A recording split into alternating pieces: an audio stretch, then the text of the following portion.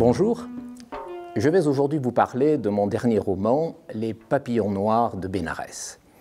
Il y a quelques années, j'ai publié un premier roman autobiographique, Les théorèmes du port de la Lune, publié aux éditions Mola. À cette occasion, je m'étais expliqué sur les raisons qui m'avaient amené à me mettre si tardivement à l'écriture. Ce roman, Les théorèmes du port de la Lune, a obtenu un réel succès, une belle critique et deux prix littéraires. J'avais ensuite envie d'écrire une fiction, mais surtout ne plus parler de moi. Mais euh, je n'ignorais pas que les éditeurs publient en moyenne un manuscrit sur mille, d'une part. D'autre part, je ne suis pas euh, euh, graphomane et puis je voyage beaucoup. Bref, j'ai hésité un certain temps.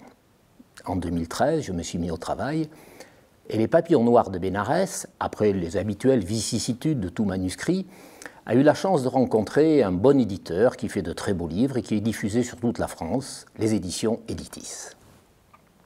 Ce roman, qui se passe au début des années 90, raconte l'histoire d'un homme de 50 ans, pianiste d'hôtel et photographe, qui, à la suite de la perte de sa femme, la passion de sa vie, décide, afin d'échapper au désespoir, de se jeter à corps perdu dans le voyage, les rencontres hasardeuses, les aventures diverses. Il part tout d'abord au Mali, qu'il parcourt ébloui par l'intensité du pittoresque au bord du Niger, les villes comme Mopti, Djenné. Mais hélas, suite à un malentendu et passant pour espion, il est amené, pour sauver sa peau, à commettre un acte regrettable qui fait de lui un irrémédiable fugitif. Il regagne Bordeaux, sa ville natale, qu'il admire particulièrement, il y a quelques pages. Puis il décide de partir en Iran, et là, euh, il parcourt ce pays fasciné par des villes comme Ispahan, Shiraz, Persépolis. Mais suite à une euh, petite infraction religieuse, il est jeté en prison. Après cet épisode difficile, il regagne Bordeaux.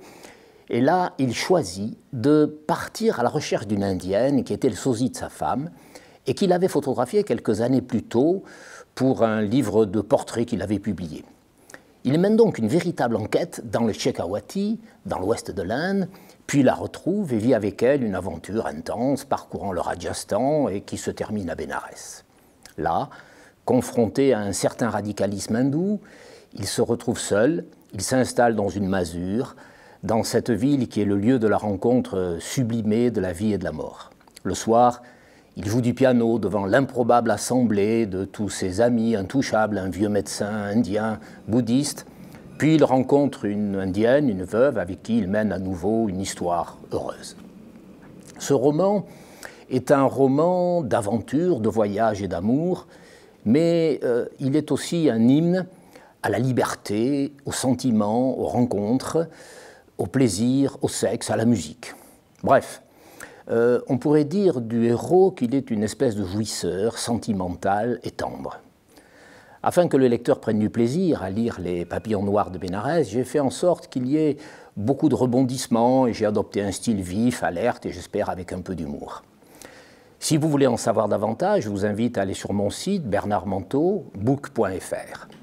Un dernier détail en vous remerciant, euh, le chapeau, ça n'est pas pour faire l'artiste, c'est juste que j'ai un peu trop pris le soleil sous les tropiques. Merci.